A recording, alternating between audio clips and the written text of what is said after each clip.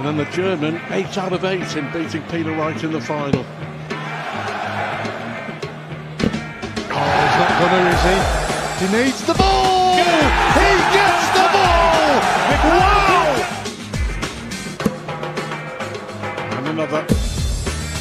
And double 10. Game 77. Leaves. Number 14 for a 145 on top of Van Gerwen. With a max, he wasn't in the leg.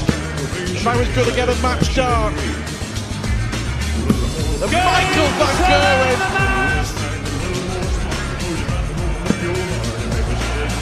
Perfect. Even better. Double 18, just to show up where it is. Will he get a shot? Will he get a shot? Just look.